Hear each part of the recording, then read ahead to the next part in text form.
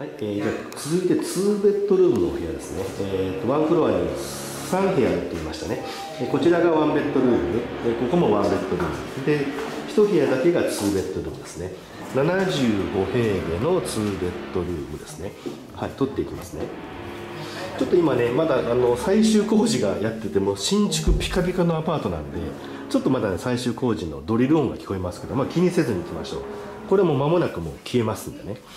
はい、表の VT スワン通りと反対側になるんですよね。はい。でもこんな感じですね。パッと抜けてる感じですね。ここも今部屋空いてます。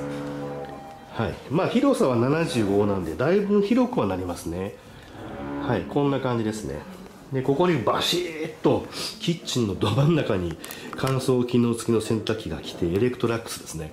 はい2口の IH のクッキングヒーター1口のはい、あのキッチンシンクですよね。でまあここの辺の諸々のキッチン周りの用具ははい、えー、まな板包丁チョップスティック、えーと、お皿類お皿というかスプーンとかね。まあその辺。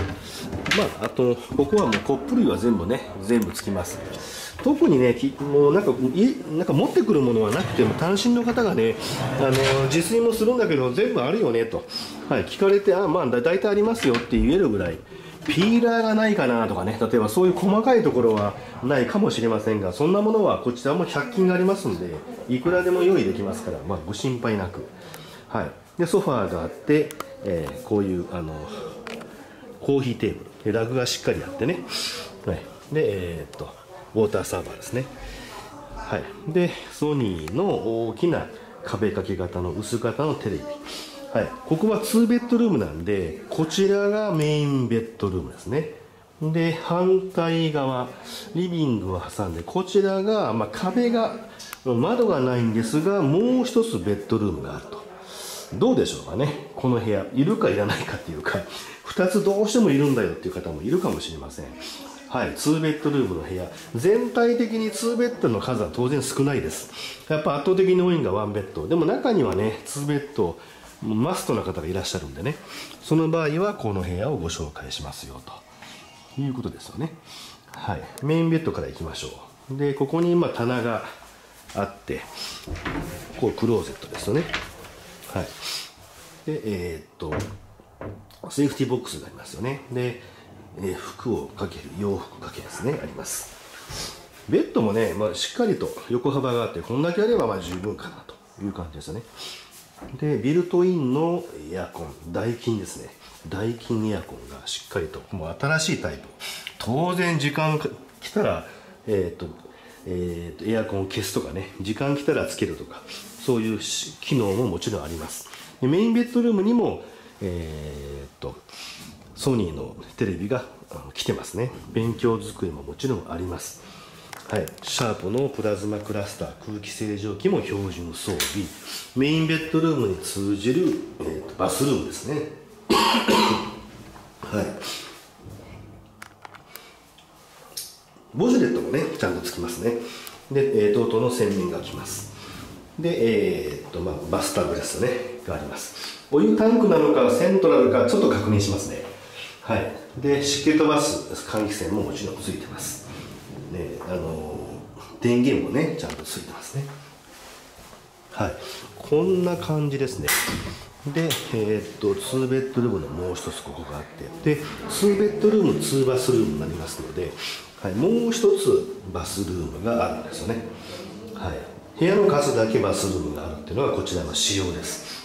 はい、3ベッドルームになるとでも2ベ2バスルームになりますんで3つはないですけどもね。はい。こんな感じです。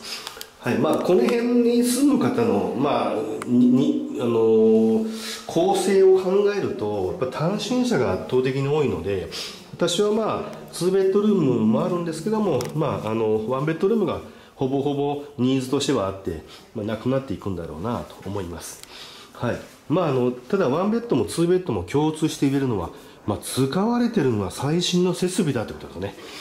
はい。最新の設備ですね。はい、あのダイキンのビルトインのエアコンが ついてるとかですね、はい、プラズマクラスターをもうさりげなくつけてる。さりげなくソニーのいいテレビをしっかりと組み込んでいらっしゃいますよね。壁もね綺麗にこんな風にねちょっと化粧して衣装的にあのやってらっしゃいますね。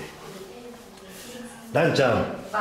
えっ、とお湯はセントラルちょっとお湯のね容量を聞きますねセントラルね、はいセントラル。ね。はい。えっ、とまあさすがのオーナーさんで当然ワンベッドもツーベッドも両方ともセントラルですね。お湯はセントラル方式。だからお湯がずーっと出続ける、はい、ずーっと毎日ね肩までお湯に浸かって、まあ、バスタブに浸かることができる。これはワンベッドもツーベッドも一緒です。はい。っていうようなはい、お部屋ですね。ここは2ベッドルームです。はい。えー、と VT スワンなんてほとんど単身の街なんですが金馬と同様、はい、単身の街なんですがカップル様でも OK 子供さんがいるとなるとちょっと厳しいかもしれませんけどもね、はい、単身の方もしくは、えー、とカップル向けのお部屋ですね。ここは2ベッドルームのお部屋ですね、はい、内覧等のご希望があればいち早くハノイリビングまでお問い合わせをしてください。今はまだできたばっかりなんで空いてますが、まあ、あっという間に決まっていくと思われる、えー、とお部屋ですね。はい、えーえーとご連絡、えー、とお問い合わせを待ちしております。